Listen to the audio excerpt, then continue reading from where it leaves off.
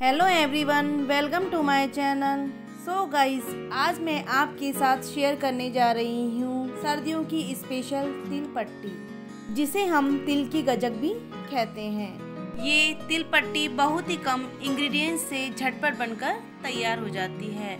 जब भी आपका खाने का मन करे, आप इसे तुरंत बनाकर भी खा सकते हो। आओ चलो तिल पट्टी बनाना स्टार्ट करते हैं।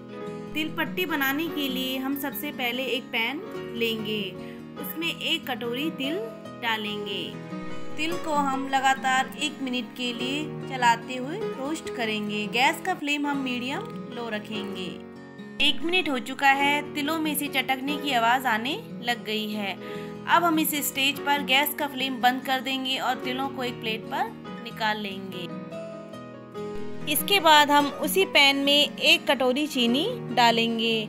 हमें चीनी और तिल दोनों का रेशो एकदम बराबर रखना है। चीनी को हम लो फ्लेम पर कैरमलाइज करेंगे।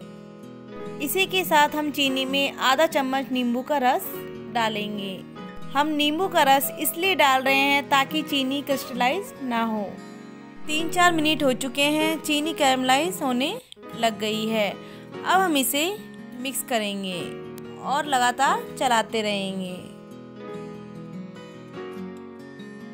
चीनी को हमने अच्छे से मिक्स कर लिया है। अब हम इसमें रोस्टेड तिल डालकर अच्छे से मिक्स करेंगे और गैस का फ्लेम बंद कर देंगे। गाइस हमें तिल और चीनी का रेशियो एकदम इक्वल रखना है।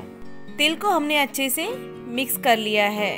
इसके बाद हम एक बोर्ड लेंगे। गाइस अगर आपके पास बोर्ड नहीं हो तो आप स्लैब पर भी बना सकते हो। बोर्ड पर हम थोड़ा सा ऑयल लगाएँगे।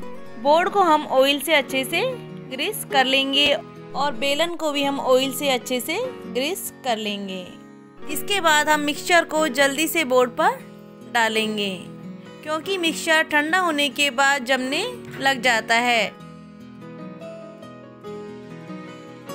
अब हम एक फ्लैट कटोरी लेंगे, उस पर भी हल्का सा ऑयल अप्लाई करेंगे।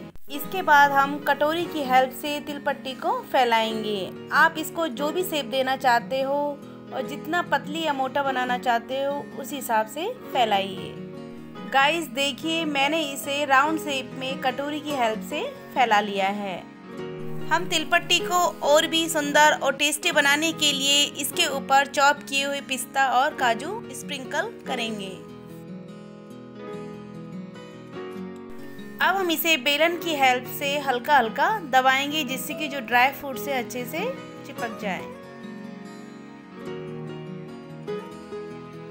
इसके बाद हम एक चाकू लेंगे और चाकू पर हल्का सा ऑयल अप्लाई करेंगे। अब हम चाकू की हेल्प से तिलपट्टी को स्क्वायर शेप में काटेंगे। आप इसे कोई भी शेप में काट सकते हो। हम तिलपट्टी को गरम गरम ही काटेंगे। क्योंकि ठंडा होने के बाद तिलपट्टी टाइट हो जाती है और इजीली नहीं कट पाती है।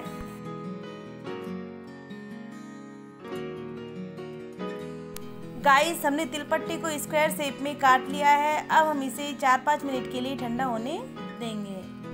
चार पाँच मिनट हो चुके हैं। तिलपट्टी अच्छे से ठंडी हो चुकी है।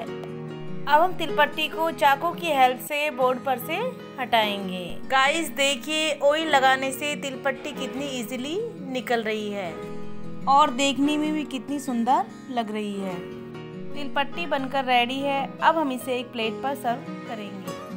गाइस आप इन सर्दियों में तिलपट्टी को बनाकर ज़रूर खाइए। और फिर आप मुझे कमेंट करके बताइए कि आपको मेरी रेसिपी कैसी लगी। अगर आपको मेरी वीडियो पसंद आए तो आप इसे लाइक और शेयर ज़रूर करें। आप मुझे फेसबुक पर भी फॉलो कर सकते हैं। इसका लिंक आपको डिस्क्रिप्शन में मिल जाएगा। अगली मुलाकात होगी एक नई रेसिपी के साथ।